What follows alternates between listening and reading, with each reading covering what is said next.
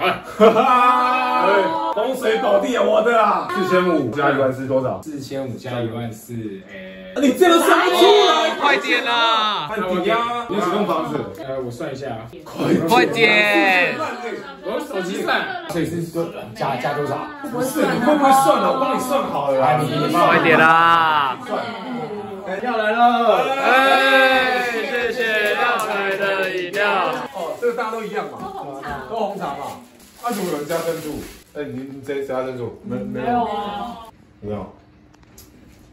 啊，饮料开，我心情饮料，你这样珍珠啊？所以上次上次你去我家去偷拿我泡面啊，太扯了，太扯了吗？上次我请大家喝饮料，结果他还偷加珍珠加野果。他上次还拿公司的茶包回家，哎，真假的？他这个是这样啊，继续继续。好来来，多少多少多少？哦，一栋房子，来来来，一栋房子。谢谢。好，来换换你换你换你，来。他是谁啊？他怎么了？他他干嘛？不开心。他不熟。刚也没怎样啊。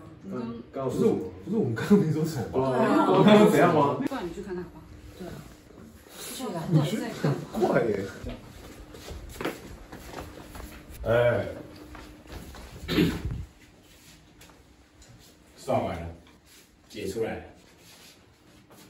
这个就是我送给人类最后的礼物。我二零二零人间伽利略终于算出来反基因方程式。反基因方程式，你知道怎样算是人类哦不，只要是生物，他们的行为能力、欲望全部都被他们的基因所操纵了吗？你以为你的思想在控制你吗？基因早就帮你决定好了。那我们需要什么？反基因方程式。你的基因在控制你啊，你只是你的基因的躯壳而已。你要怎么挣脱这个基因的躯壳？反基因方程式，反基因方程式啊！这个方程式就是带领我们人类挣脱基因的第一步啊！明明就是你自己想吃珍珠，你还怪什么基因呢？错，是我的基因想要吃珍珠。所以我们需要什么？我二零二零人间伽利略送给人类最后的礼物——反基因方程式。你这到底在写什么啊？其实这个公式看似很复杂，但只要有一点概念的人大概可以懂。就是你把这个数字往这边套，你可以得到这个。最后呢，我们就有一个结论，这个结论就是反基因方程式的精华。我有一个简单的方法，让所有的人类都可以享受这一套反基因方程式，是这样的。当一件事情发生的时候，这件事情你意识到它不一定是你需要，它可能是你基因在作祟的时候，千万要冷静下来，冷静下来，然后，